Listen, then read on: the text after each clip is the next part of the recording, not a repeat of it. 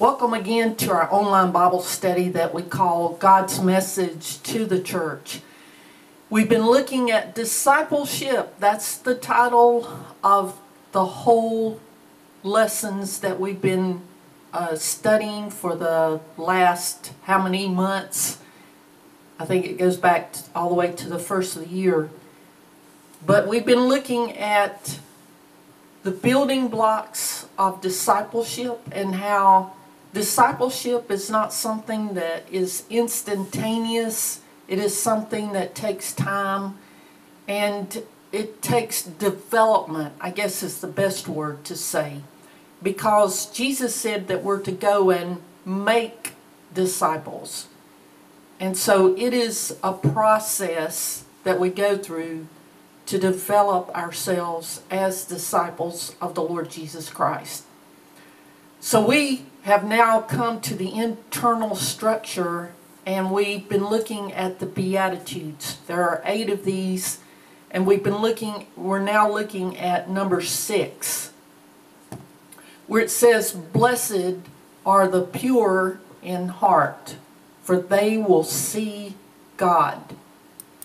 And as we were looking last time, we were saying that the Apostle Paul has put a link between the pure in heart with love. If you look on the right hand side on this is showing 1 Timothy chapter 1 verse 5. He said the purpose of my instruction is that all believers would be filled with love and he says that love comes from, number one, a pure heart, number two, a clear conscience, and genuine faith. And so we look at 1 Corinthians chapter 13 when the Apostle Paul is describing what is love. And again, we said it's not an emotion, it's not a feeling that we have. It is those internal qualities, such as patience. Love is patient. Love is kind. It doesn't envy. It doesn't boast. It's not proud. It's not rude. It's not self seeking. It's not easily angered.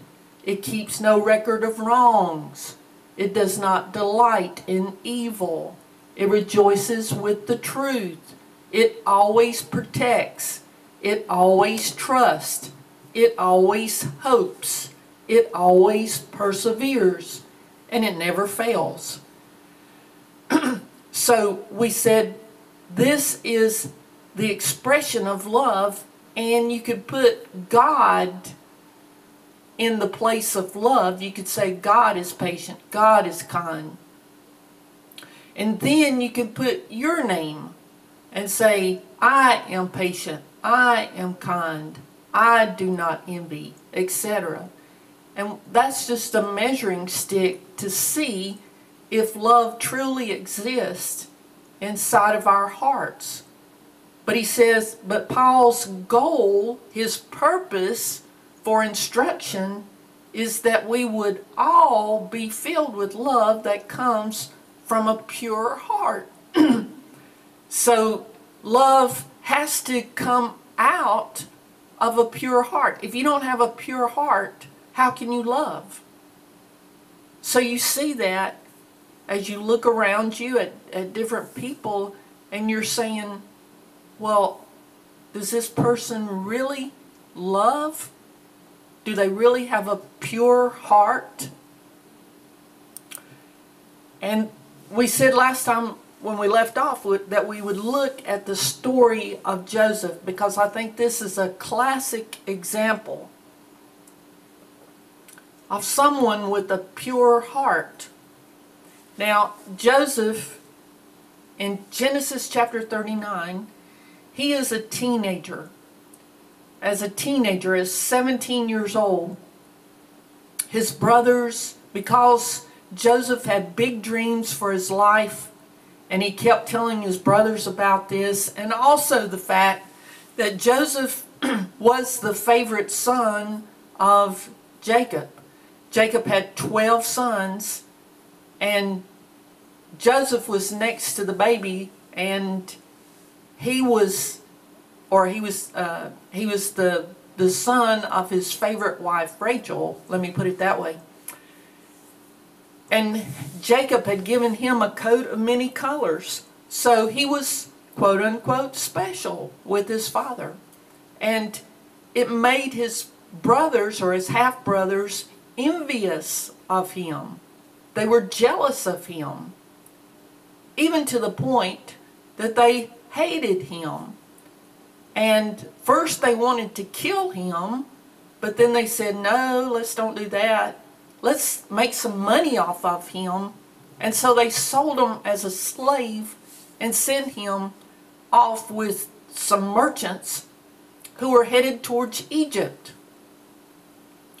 So we know that Jake, Joseph left the promised land and was taken down into Egypt. And he ends up in the home of Potiphar, who is one of Pharaoh's officials, who happens to be the captain of the guard. And Potiphar had bought Joseph from some Ishmaelite merchants. But notice verse 2, it said, The Lord was with Joseph so that he prospered. Think about that. Here he was sold as a slave into Egypt. He was without a family. He was all by himself. And he was in a, a strange land, totally foreign to him. But it says the Lord was with him and that he prospered, even if he was sold as a slave. Notice it said, and he lived in the house of his Egyptian master. Well, think about this. When Joseph was, was back home, he lived in a tent. He was a camper, if you will. I mean, a rough type of camper. To live, to live in a tent. And he was used to taking care of animals, so he was a, you know, he was used to the great outdoors, and he was used to uh, a very, it wasn't a luxurious type of life. But now he's living in the house of his master. Hey, that's an upgrade, if you will. You say, well, he's a slave. Yeah, but I think about some of the plantations in the South uh, years ago, back in the 1800s, and some of those uh, plantation owners had slaves that they bought, but those that took care of the house, the butlers and the ones that worked in the kitchen and the maids and so forth, they had, I mean, they were living in a mansion. And so it wasn't all bad, you know, as long as they had a good master being in slavery is not necessarily the worst thing that there could be. So he was living in the house of his Egyptian master. But notice verse 3 when his master saw that the Lord was with him. The Lord was with Joseph. His, even his own master realized this. And then it goes on and says, and that the Lord gave Joseph success in everything he did. So three times it's it's saying that God is prospering Joseph. The Lord is with Joseph. And that it's the Lord who's given him success in everything that he puts his hand to. So he found favor in Potiphar's eyes and he became his attend attendant. In fact, Potiphar put him in charge of his entire household. Everything that he owned, he put under the care, he entrusted it to Joseph. So, wow, Joseph was promoted. He was given a good job. so he's got a good job. Yes, he's a slave. Yes, he was bought. Yes, he doesn't have any family. But look how God is even using these circumstances in his life. But we get to verse 7. And it says, and it came about after these events. After Joseph is bought, after Potiphar recognizes that the Lord is with Joseph, that he's prospering, that he is he has integrity, he feels confident in him, he trusts Joseph. But here is Potiphar's wife, and it said that she looked with desire at Joseph. Joseph is 17 years old. We don't know how old Potiphar's wife was, but she looked with desire. He was a, a very handsome young man. And so she's trying to seduce him. But verse 8, he refused. And he said, My master has trusted me. He's put everything that he has under my charge. There's no one here that's greater in this house, as far as his servants is concerned, than I am. And he has not withheld anything from me except you because you're, you're his wife. And then notice the last sentence here. How then could I do this great evil and sin who? Against God. He didn't say that I would sin against Potiphar. He said, I, I can't do this and sin against God. So here is Joseph recognizing that if he were to do this, that this would be wrong. How did he know this? How did he know that this would be sinning against God? Because there wasn't a Bible in those days. Moses comes along hundreds of years later. And then we have the Ten Commandments and the laws and the statutes, etc. So this is hundreds of years before there is even a Bible. But Joseph recognizes that to do this, to succumb to Potiphar's wife's seduction, that it would be wrong and that he would be sinning against God. So, again, verse 10, we'll skip verse 9 because we looked at it. And as she spoke to Joseph day after day, he wouldn't listen to her, to lie beside her, or to be with her. So it wasn't a one time deal with her. She was trying to wear Joseph down. If he, if he would not accept her invitation the first time, that didn't deter her. Day after day after day, she was tempting Joseph. But one day, in verse 11, it says, He went into the house to do his work, and none of the men of the house was there in the house. And that's when she caught him by his garments and she said, Lie with me. But he left his garment in her hand and fled and got out of Dodge. He got out of that house. Now, here she didn't want any witnesses. Maybe she was afraid that the reason that he didn't want to do this is that they would get caught. And that maybe that's why Joseph would not accept her invitation. So he, she made sure that all the men of the house were out of the house at that time. But he said, no. And he ran. He ran. He didn't care. He was getting out of there. You know, I know that today there's a real struggle with pornography, especially among Christian men. The statistics show that, you know, it's so readily accessible now. And we know that there's a great temptation. There is a draw. There is a pull there. But here, uh, I'm going to show you a short clip. This is Shawn Bolz, B-O-L-Z, Shawn Bolz. And he is talking about when he was 11 years old. Now, he talks real fast and... Uh, and the sound the sound quality is not too good but I hope you get the gist of this that he and some friends of his are walking along a path and they run across some pornography.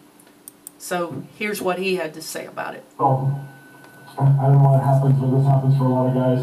When I was 11 years old, I, I was walking down a path and with some friends and found a pornographic magazine. I didn't know there was such a thing. I was like the most innocent kid. I was like in shock looking at the pictures, going, "This exists!" Like I was just I was my world was blown, you know. And I go to my dad, and I, I, I go straight home, and my dad's home early. I'm like, Dad, I saw a pornographic magazine. Or I didn't even call that. I was like, I saw a magazine with naked people. My friends and I were looking at it. It was crazy. I, Did you know this exists? And he's like, ah, and both kind of laughing and also sad at the same time, really sadly. He's like, yeah, son. And, and, and I just had no sexual awakening at all. I was like shocked, you know, just like, how in the world does this happen, you know? And he goes, well, how did you feel when you looked at it? I was like, scared and excited. I was like, Dad, have you ever seen this? He goes, Yeah, unfortunately I have. And he, said, you know, uh, the, those women that are in that magazine with those men, can you imagine if that was your sister or your mom? And I said, No. I think well, it's someone's sister it's someone's mom, it's someone's daughter. He goes, How would you feel if someone looked at your mom or your sister like that? I was like, I would kill them. I was 11. And he said, Well, you need to protect those women because they don't know how to value themselves the way that you're feeling the value of them right now. And I said, the reason why I don't look at these magazines anymore is because when I became a Christian, I began to protect my connection with your mom at all costs because we had years together, and every time I looked away from those years at something else, it violated that connection. We were no longer connected. And so I want to I want to challenge you, son, to find that place of connection and protect it with women. I don't remember it was done in me. I never had like a pornographic struggle because of that. Because my dad was an example that said protect connection at all costs. So what's during my life when we got married four years ago, I didn't come into it with a, a bunch of baggage, thank God. And there's no condemnation for anybody who doesn't have a walk that's pure in that area. But there's a place inside you that when you understand that character is protecting connection, but the connection is the anointing that we have to protect at all costs. It helps to dismantle a performance issue that's on your life. And you come into the prophetic. So I just thought that was interesting that here was uh, here he was as uh, 11 years or 11 years old, and he and his friend came across the pornographic um, magazine, and he was seeing these naked women, and you know he, his dad, who was in the Air Force, he knew that he had come he was home early, so he runs home and he talks to his dad about it and so his dad has said, Well, how would you feel if that was your mom or your sister? And he says, I wouldn't like that at all. I wouldn't, you know, and he says, What would you do if, if you knew that men were uh, watching them or looking at them the way that you were? And he says, I'd kill them, you know. And so his dad emphasized to him the fact that he was to protect these women because they really do not value themselves like He values them, like God values them.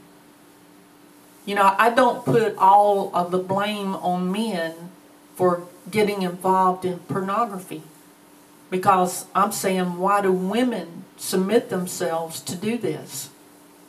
To put them, to expose themselves to all types of men. You know, why would they do that? Unless they didn't value themselves, that they didn't feel validated as a person, as a human being, that they thought that the only thing that could attract other people is their sexuality. But there's, you know, we are more than just body parts. We are human beings made in the image and likeness of God. And for those that want to um, expose themselves in this way, there is a, there's a very internal issue there. I was working at Dick, Dick Brooks Honda in Greer, South Carolina. Um, and one day there was a, a woman, and I was not close to her I really couldn't see uh, too too good, too well, uh, what she looked like or anything, but I just knew the reaction of the guys. and I knew that she was scantily dressed.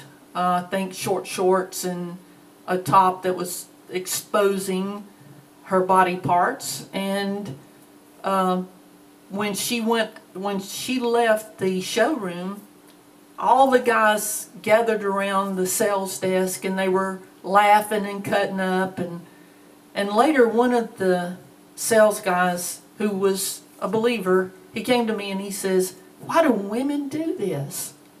Why do they do it? You know he was just shocked and he couldn't believe the way that she had presented herself.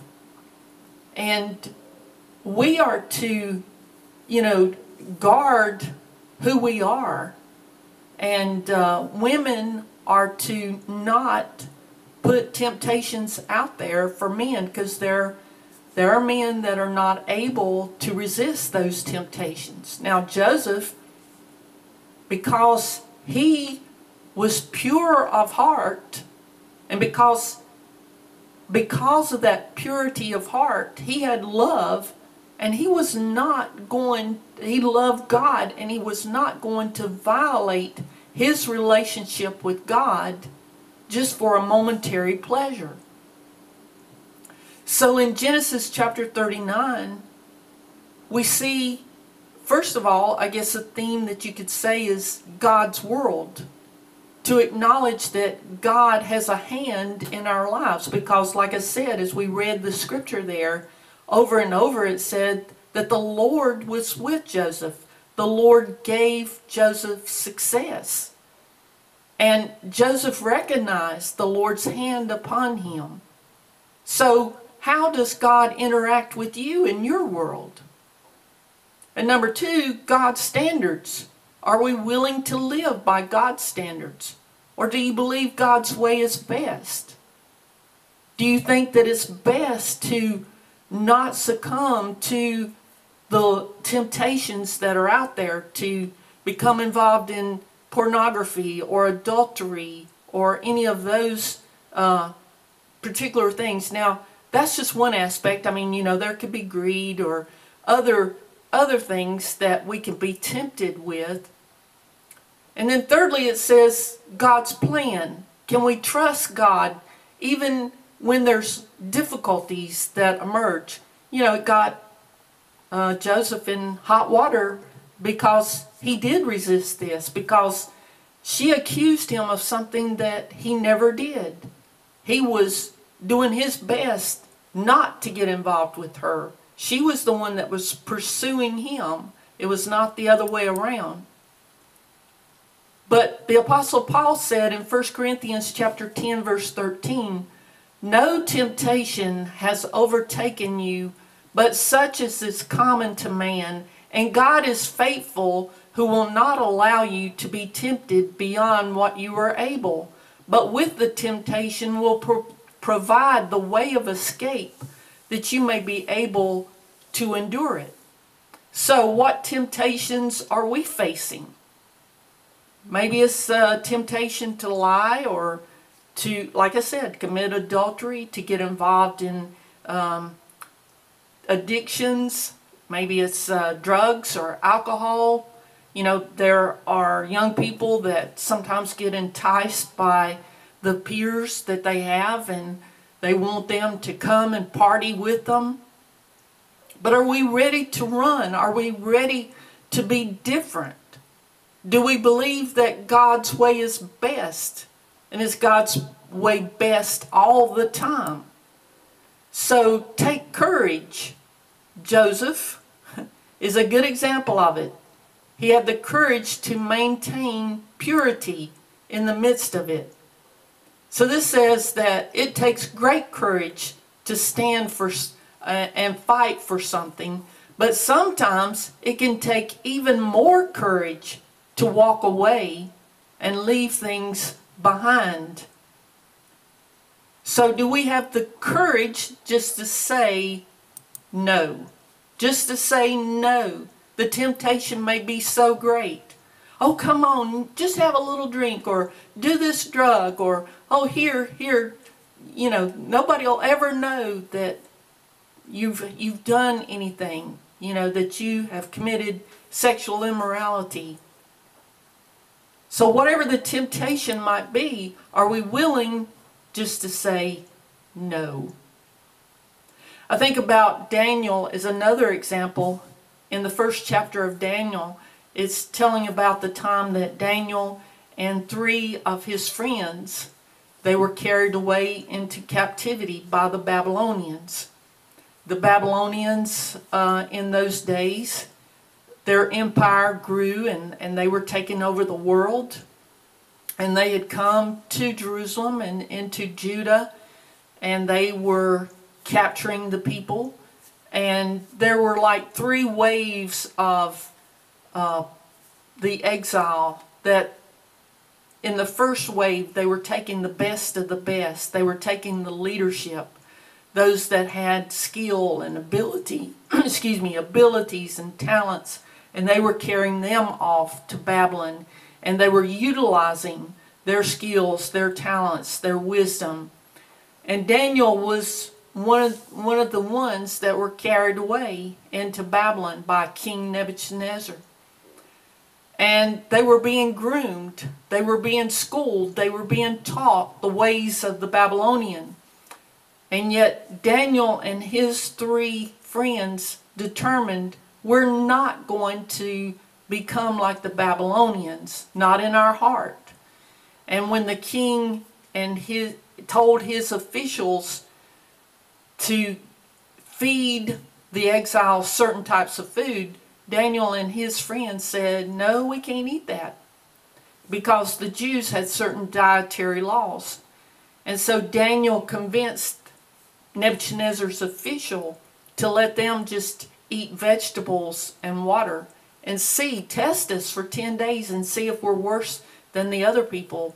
And in fact, 10 days later, they looked better than the rest of them.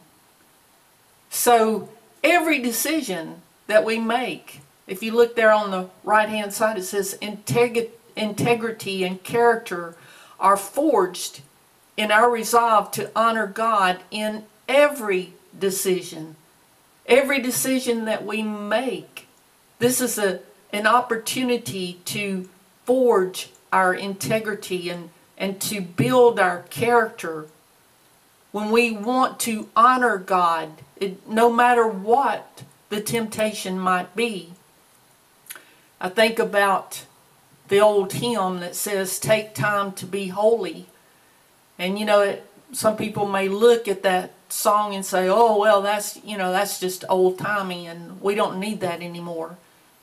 But how true is it that we need to take time to be holy, to be set apart, to speak off with your Lord, to abide in Him always and feed on His Word?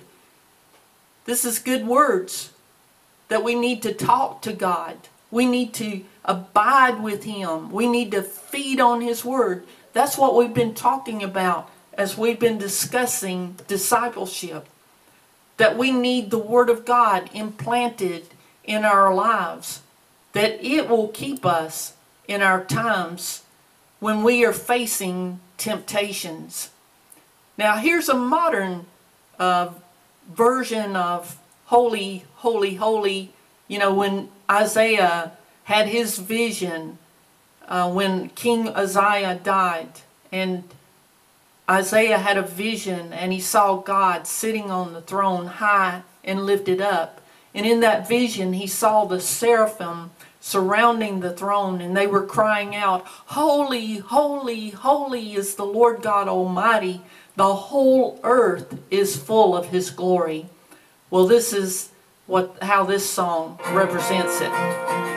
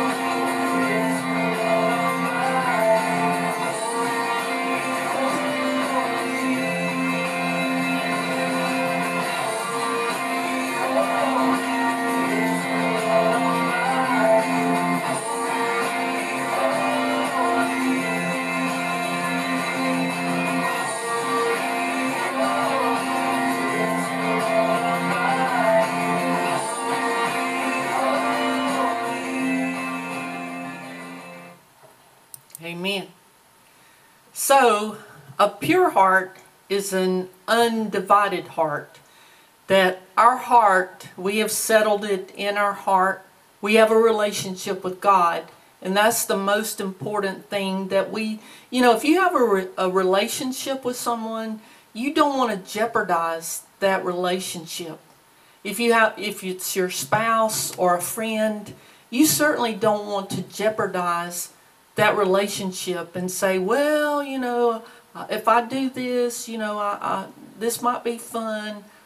But if it would jeopardize that relationship in any way, then you don't want to do it. So you have to purpose in your heart that you are not going to compromise. And also, a pure heart is a clean, uh, a clean heart. It's clear, it's clean, it's pure, it's unalloyed, it's single. And as it says in Psalm 12:6, the words of the Lord are pure words, as silver tried in a furnace of earth, purified seven times.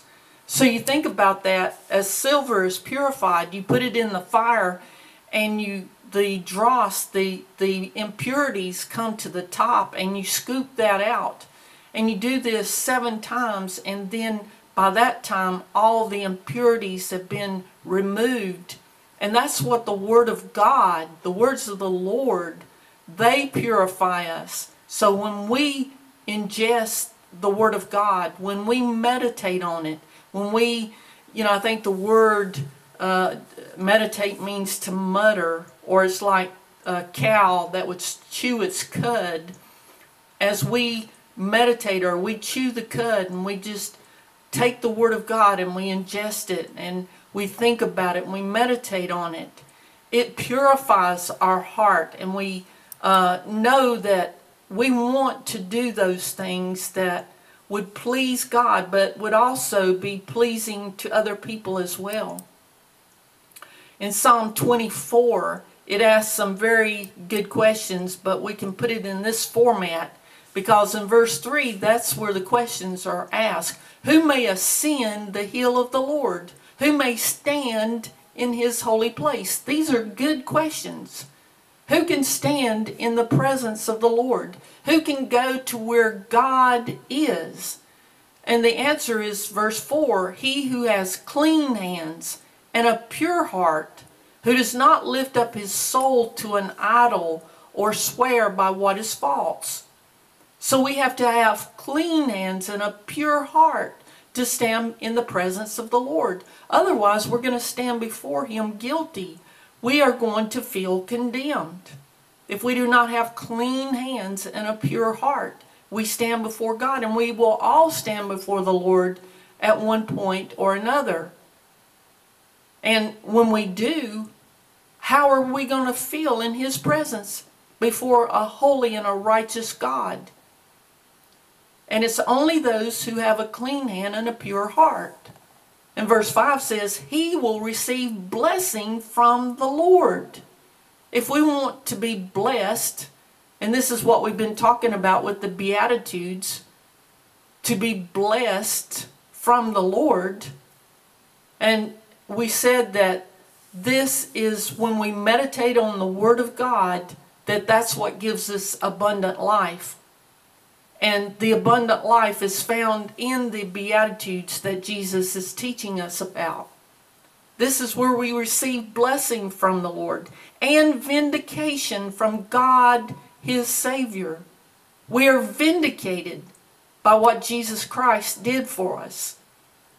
So this key verse, he who has a clean who has clean hands and a pure heart this is the one, these are the ones that can stand before a holy and a righteous God. In Revelation chapter 19, this is the picture of the fulfillment of what God is wanting to happen. When it's all said and done, when we come to the end of this age, what is God's goal? What is, what is He looking for? Well, in Revelation chapter 9, it is talking about that there is going to be a marriage there is going to be a wedding. And we're talking about the marriage of the Lamb. The marriage of the Lamb. The Lamb is Jesus Christ. And his wife has made herself ready. His wife is, or his bride is the church. That he's looking for the church to be without spot or without blemish. Think about the marriages or the weddings that you've gone to.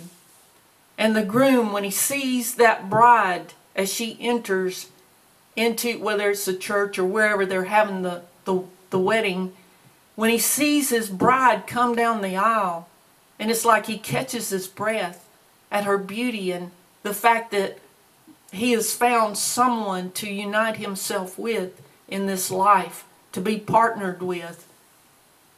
And that's the way that the Lord looks upon us. He sees us as something that is beautiful. She's arrayed in fine linen, clean and bright, for the fine linen is the righteous acts of the saints. The righteous acts of the saints. And he says, Blessed are those who are called to the marriage supper of the Lamb. So there's going to be a wedding.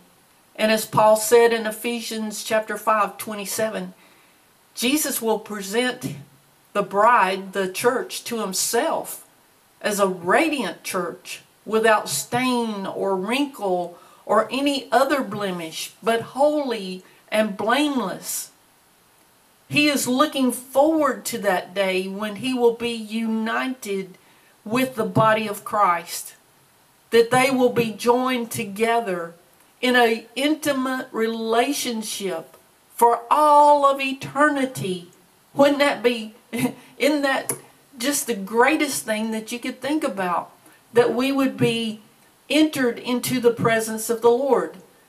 I heard a story of this uh, man who's in ministry and he has a prophetic gift.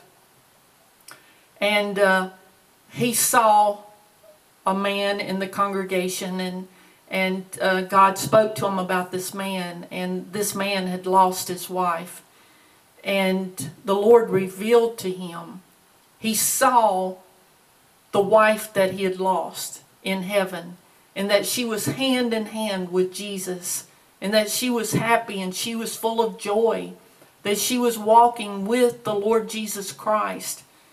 And there was such a joy in her heart, and she wanted her husband back here on earth. She wanted him to be happy. She wanted him to be full of joy. She wanted him to have a full life. She did not want him to be miserable because she was not there with him, because she was in the presence of joy. And so I think about that. When we are united with Jesus Christ, what will that be like? And so here in Revelation chapter uh, 19, verse 6, John hears a sound, and it's like many waters and thunderings, and it says, Hallelujah, for the Lord God omnipotent reigns. Isn't that wonderful? And it's talking about his bride and how she'll be dressed in fine linen. The fine linen represents her righteousness. The fine linen is the righteous acts of the saints. And then, right, blessed are those who are invited to the marriage supper of the Lamb. This is wonderful. Blessed are those who are invited to this marriage supper of the Lamb. That she has been set apart from this world and that Jesus' bride has made herself ready. That's what we are to do is to make sure that we've been made ready for his coming. And in Zechariah 14 9, it says, The Lord will be king over all the earth, and on that day there will be one Lord, and his name the only name. Isn't that great? The name of Jesus Christ that now is used as a curse word a lot of times, but that day is going to be the only name. And they will see the Son of Man coming on the clouds of heaven with power and great glory, with the great sound of a trumpet.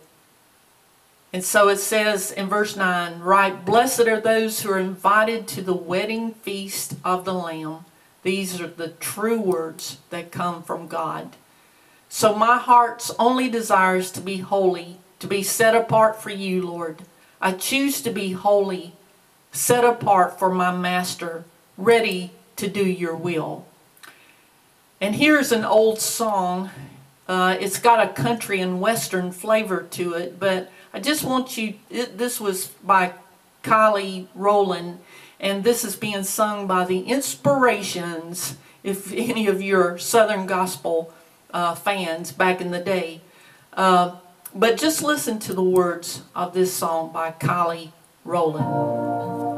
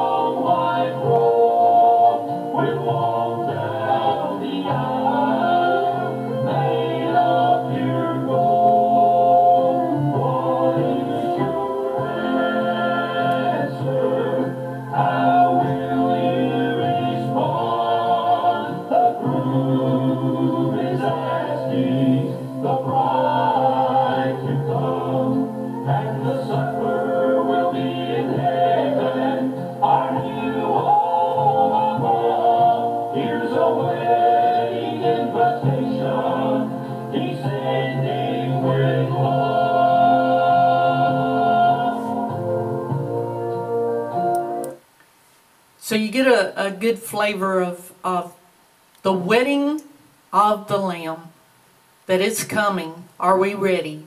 Heavenly Father, we just want to thank and praise you and just lift up our voices and just give you praise. Hallelujah. For the Lord God omnipotent reigns. Thank you, Lord, that you're coming again. Thank you that you have a wedding supper prepared and that you have extended the invitation. You've invited us to come and to be a part of this. So, Father, we just praise you and we thank you, and we want to be ready for that day. We want to keep our hearts pure before you because we want to be part of the celebration. We thank you, Lord, for your goodness, your mercy, and your grace that follows us all the days of our life. We give you the thanks and praise for everything that you are in our lives. And it's in Jesus' name we pray.